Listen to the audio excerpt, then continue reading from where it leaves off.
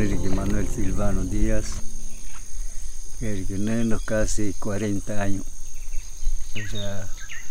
fundador. Es, eh, la cocha es nuestro mercado de todos los días que hay hacer nuestra compra, nuestro pescado. Toda la gente de acá, toditos, se van a sacar su pescado, traen, se van chacra, traen plátano, yuca. Y así nos pasamos todos los días, porque todo es natural, todo lo que acá comemos, tomamos es natural, lo que nosotros mismos preparamos es así. Y guayaquita, puchabana y parantabana, ascar familia mantiene para mí es un derecho tener un territorio para vivir de acuerdo como yo visiono el mundo, de acuerdo como yo siento que debe dar yo la satisfacción que necesita mi familia, mis, mis parientes y todo lo que nos, pertenecemos a un pueblo. Hablar del tema de territorio es um, hablar de inclusive de, la parte de la espiritualidad de una cultura, porque ahí están todo lo que nosotros todo lo que nosotros necesitamos, inclusive para, para curarnos, para ser hábiles en una actividad, para tener un espíritu bueno y servir a, los, a, nuestros prójimos, y para tener un perfil positivo como, como miembros de un, de un pueblo. Ahí está la vida, ¿no? En ese sentido, por eso digo que eh, alguien que no sea de mi cultura es muy complejo que de esa manera entienda y que me dé con mucha satisfacción el derecho que yo quiero por mi territorio. Eh, y al final es un, gran problema que nos ocasiona, eh, bueno, personas de otra cultura que no, no entienden esa dimensión.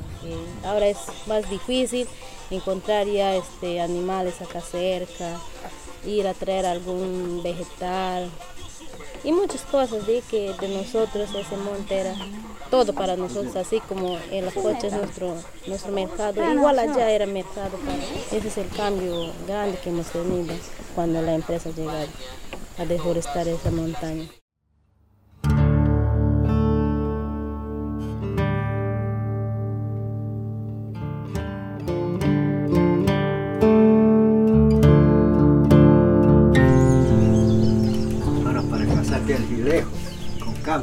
Más antes, un ratito, te vas en la mañanita, a las 8, 9 de la mañana estás con, tu carga ya. Ah, Matan venado, sajino.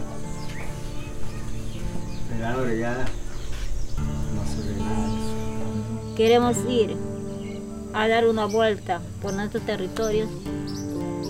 No nos dejan, no nos dejan pasar ahí, vigilante allá, vigilante allá.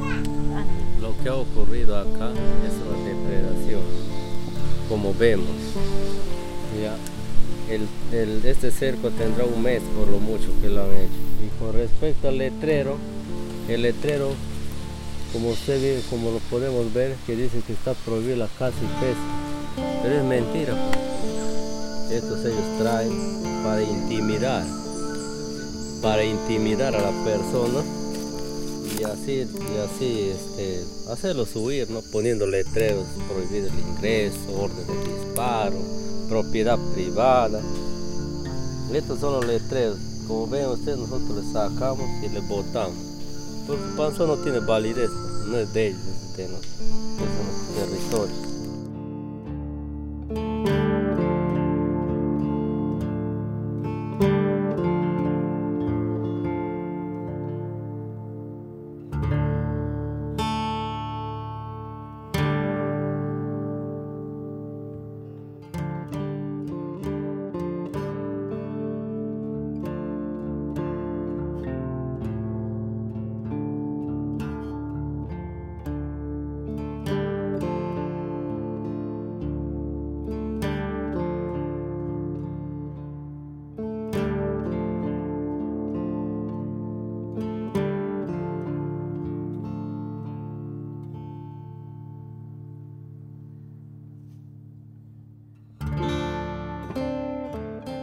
Nuestra comunidad de Santa Clara de Chuyo ha sido titulado en 1975 con una extensión de área territorial de 218 hectáreas. Este círculo que ven es donde que nosotros estamos viviendo.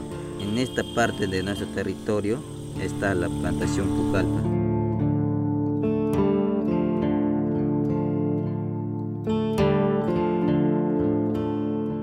Aquí era su casa de un comunero, Huber. Fue un jueves, un jueves de, de agosto, un jueves de agosto del 2015. Pero, ¿no? Vinieron dos camiones, un camión con aproximadamente 25 personas y otro camión vino vacío, más un tractor forestal, una excavadora marca Dosan, una naranjada. Vinieron a las 9 de la noche PM. Entonces a partir de ese momento empezaron a destruir, ¿no? Para de- porque al tercer día, al tercer día de, faltando tres días antes de la destrucción de la casa, iba a haber una inspección fiscal de campo de Pucallpa y Campo Verde. Y para borrar evidencias, para borrar rastros, tenían que destruirle antes que vaya esa inspección fiscal, para que no haya evidencia que nunca hubo casa, nunca hubo nada. Le han destruido y el camión vacío embarcaron el resto de la casa, las calaminas, los horcones, los listones, las cosas y las tablas, para que no quede nada. Y la casa, como era de material hoja, lo quemaron.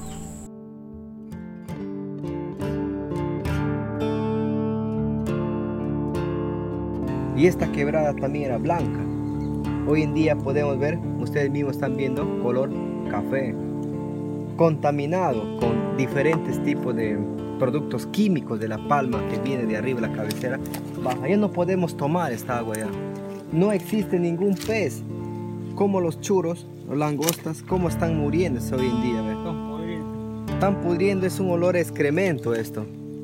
Y esto nosotros consumimos esto. Todos están muriendo. ¿Qué vamos a dar a nuestros hijos? Todo ya los pescados están pudriéndose por abajo, mueren. Así estamos sufriendo en pleno siglo XXI, en plena tecnología, en pleno que nosotros luchemos para nuestro medio ambiente y cuidar nuestro ambiente, nos estamos destruyendo, nos están, nos están matando en vivo. Mira, estamos viendo acá La Palma, eh, la plantación. Eh, hemos recorrido casi como 3 kilómetros de, de río, Agüetía, hacia acá para llegar, ¿no? Y estamos viendo eh, el lugar de los, eh, estamos llegando al lugar de los hechos, que donde que ellos trabajaron, ¿no? Este era nuestro territorio ancestrales, ¿no? Así como están viendo estos bosques, bosques primarios. Y ahora como estamos viendo, ahorita no hay, no hay ni un bosque, nada, nada, totalmente no hay nada. ¿Y de dónde vamos a vivir? Ahora tenemos 200 hectáreas nada más, porque la naturaleza, cuando siempre crece el río Agüetía, él desbarranca, va desbarrancando. Cuando llega en la cocha, han visto una cocha grande ahí, ahí una vez que llega, totalmente nosotros quedamos en una islita. Nosotros hemos decidido ¿no? luchar y hacer respetar por los derechos de las comunidades, de nuestros hermanos indígenas. Porque ellos jamás van a vender, las comunidades no venden su territorio, más lo contrario, cuidan. Y es mejor así, porque cuando ya se privatiza, ya tiene dueño, nadie puede ingresar. A cambio, una comunidad, usted va los, las estaciones del año que quiera. Pedimos a las autoridades internacionales que nos apoyen, que no nos dejen hasta un lado, porque nosotros día a día necesitamos el apoyo de ustedes. El dinero es supuestamente como una historia, que hoy lo tenemos y mañana ya no, lo que es nuestro territorio, si lo vamos a tener de por vida, lo vamos a tener y nunca se va a terminar.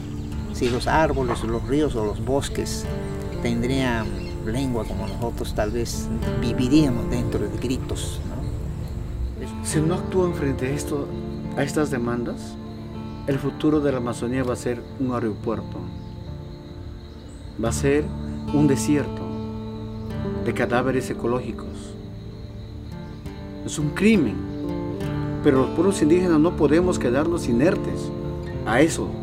No, frente a una acción tiene que haber una reacción. nosotros cómo vamos a reaccionar. No nos importa, como lo dije hace un momento, dar nuestras vidas para defender lo que es nuestro. Porque nosotros, como comunidad indígena, no estamos acostumbrados a vivir en desiertos, porque como comunidad, la comunidad y como indígena necesitamos nuestros bosques. Estoy bien preocupado, ¿no? Por mis hijos, por mis nietos que van a sufrir de aquí más adelante cuando yo no existe de repente, ¿no? Y por eso yo quiero la respuesta este año nomás eh, del gobierno central. Malo que no no titulan ni no may obliga, alguien nomás no